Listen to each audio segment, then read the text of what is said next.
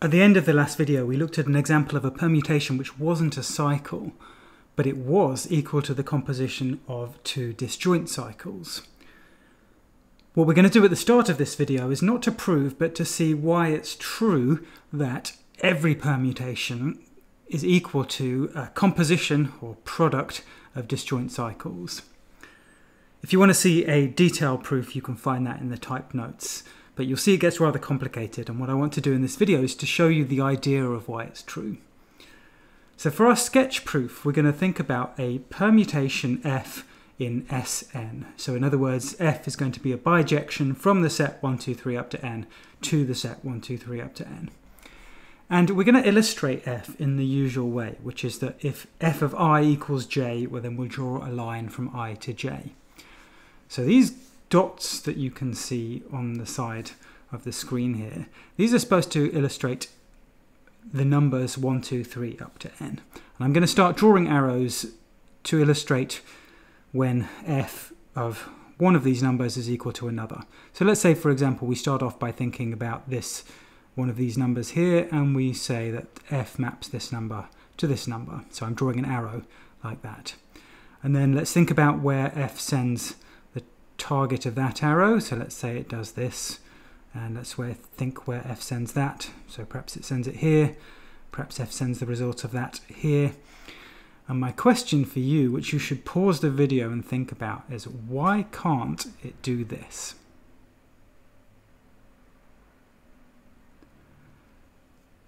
Alright, I hope you did pause the video. Um, I mean, the reason that it can't do this is because f is supposed to be a one-to-one -one function.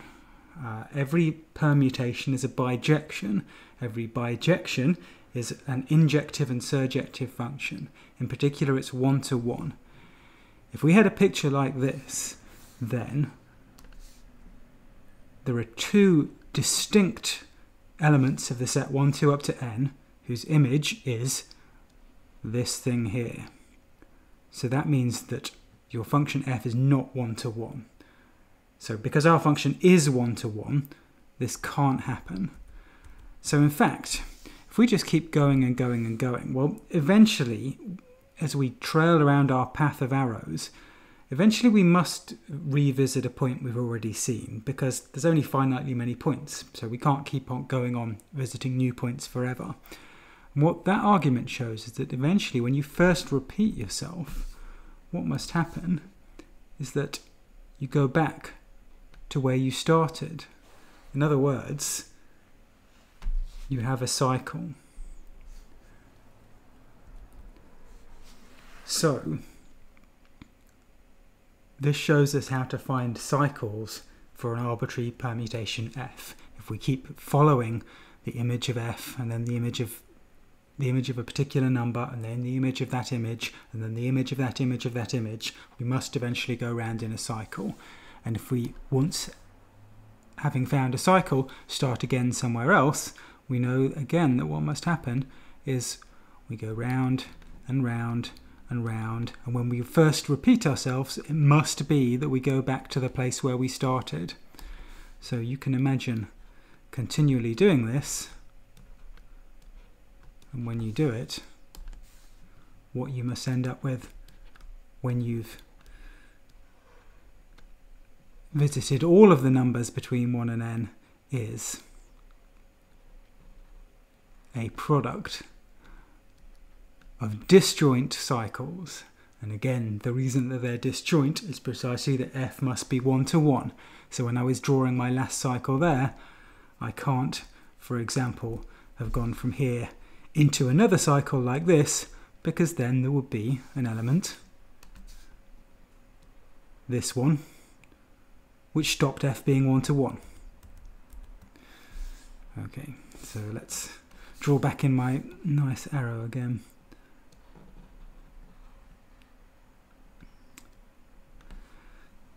Okay, so this method actually not only hopefully convinces you why every permutation is a product of disjoint cycles, but also gives you a method of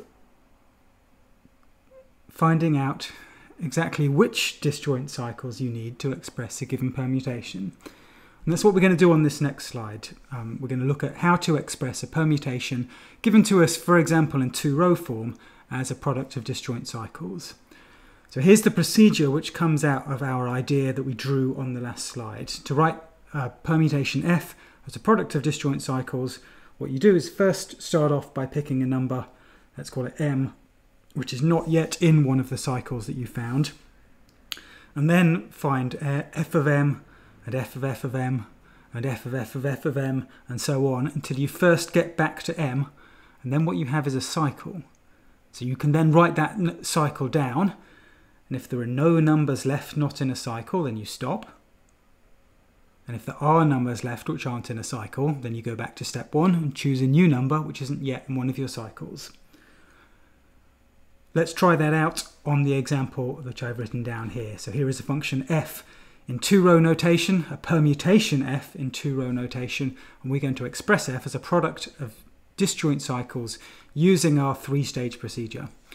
So let's start off with 1, for example, and if I look at 1, well, f of 1 equals 7. f of f of 1, that's f of 7, is equal to 4 f of f of f of 1 is f of 4, which is equal to 1. So that means my first cycle in my decomposition is 1 goes to 7, goes to 4, goes back to 1 again. Now we're on stage 3. Uh, are there any numbers left not in a cycle? Well, the answer is yes, 2 is not in a cycle yet. So let's think about f of 2. f of 2 is equal to 6 f of 6 is equal to 5 and f of 5 is equal to 2 again. So again we've gone round in a cycle, we're back to 2 so we have a new cycle which is 2 goes to 6 goes to 5 goes back to 2 again. Uh, we're on stage 3. Are there any numbers left not yet in a cycle? Uh, yes, we don't have 3 in a cycle yet. So we now look at f of 3 and f of 3 is 3 again. So what we would normally do is write down this new cycle like this. But as we said couple of lectures ago, one cycles are always the identity. And we try and avoid writing down one cycles because they too, look too much like what happens, what the notation we use is when we evaluate a function at an input. So to avoid any confusion, what we'll do is just not write any one cycles since they're the identity and composing with the identity doesn't do anything. There's no loss of generality in just omitting them. Okay, so here is our expression for f as a product of disjoint cycles. We've now finished because there are no numbers left which are not in a cycle. We've dealt with all of the numbers 1, 2, 3, 4, 5, 6, 7 and we found the cycles for f. Okay. A good question then um, from my last example is, but you know, why did I start with the number 1? I found in my last example that f was equal to the product 174265. But you know, why, what if I started with 2 instead of 1? There was no reason I had to start by looking at f of 1 and f of f of 1 and f of f of f of 1 and so on. So if I'd done that, I would have got something different. I would have actually ended up with if I started with 2 instead of 1, I would have ended up with writing f as 265174.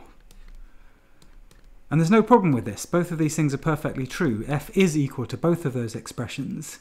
So this slide is about the fact that there is more than one way to write a given permutation as a product of disjoint cycles. And there's two reason for this two reasons for this non-uniqueness. So first of all, as I said a couple of lectures ago, you're going to show that if C and D are disjoint cycles, then they commute with one another. So that means you can write two disjoint cycles like this one and this one in any order you like. Secondly, you know that there are multiple different ways to write a given M cycle. In fact, there are M different ways to write an M cycle. So here is an illustration of the three different ways to write the three cycle, one, two, three. So this gives us many, many ways to write a permutation as a product of disjoint cycles. There is not one and only one correct way to do this. So just to, um, to continue our example, f is equal to 1, 7, 4, 2, 6, 5, and it's also equal to 5, 2, 6, 1, 7, 4, and it's also equal to 2, 6, 5, 7, 4, 1, and there is a whole bunch of other ways to write it as well. So you must be careful and you must remember that there is not just one way to write a permutation as a product of disjoint cycles. There are many different ways to do this in general.